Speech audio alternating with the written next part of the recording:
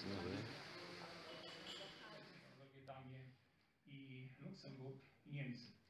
Proszę Państwa, jakie są szanse dla nas jako instytucji, jako strefy?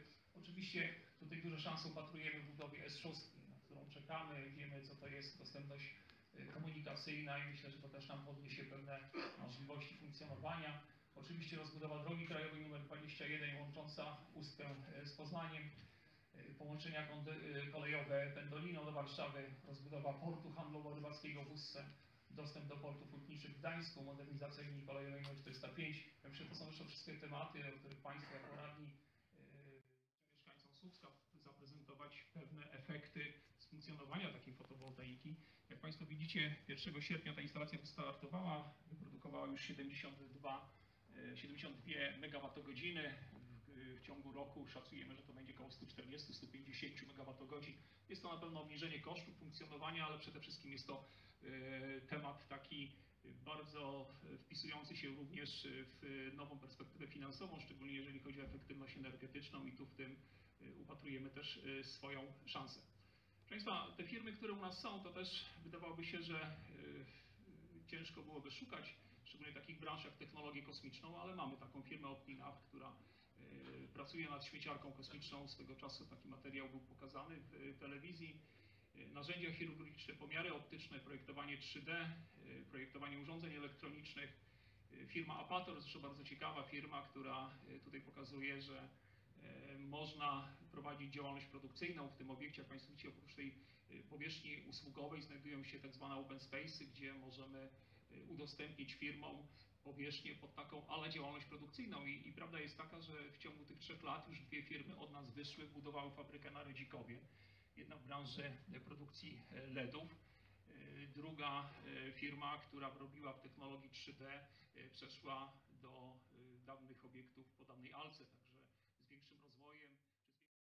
Panie i Panowie, kontynuujemy zapoczątkowany 30 marca bieżącego roku w Tczewie cykl posiedzeń Sejmiku Województwa Pomorskiego poświęconych e, poszczególnym częściom naszego regionu.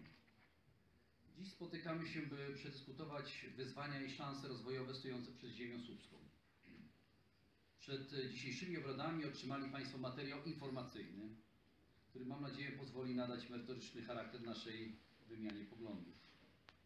Do wzbogacenia dyskusji poprosiliśmy panią profesor Iwonę Jarzewicz z Akademii Pomorskiej w Słupsku oraz pana profesora Cezarego Obrak-Prądzyńskiego z Uniwersytetu Gdańskiego o poparte wiedzą naukową i praktyką badawczą prowadzenie. Bardzo dziękuję Państwu profesorom za przyjęcie zaproszenia. Szanowni Państwo, Chciałbym, byśmy w dzisiejszej dyskusji skupili się na trzeźwej ocenie sytuacji, podsumowaniu dotychczasowych działań, ale przede wszystkim na tym, jaki kształt powinna mieć polityka rozwojowa skierowana do ziemi słupskiej, a także na tym, kto i jak powinien, na tę, e, jak, kto i jak powinien tę politykę realizować. który y, powinien y, powstać na, na terenie szpitala, ponieważ założeniem szpitala głównie było to, żeby pozbierać szpitala, a robi się właściwie działania destrukcyjne. Dzisiaj praktycznie kasa szpitala jest prawie pusta. Jest jakby taki przedwyborczy skansen. Mówiąc przedwyborczy mam na myśli y, sposób y, rządzenia czy zarządzania państwem przez Platformę Obywatelską, która nie, które nie spotkało się z aprobatą społeczną. budowy szpitala, gdzie osobny pawilon y, miał być dla oddziału ginekologiczno-położniczego i oddziałów nazywanych y, potocznie przez Słupszan porodówką.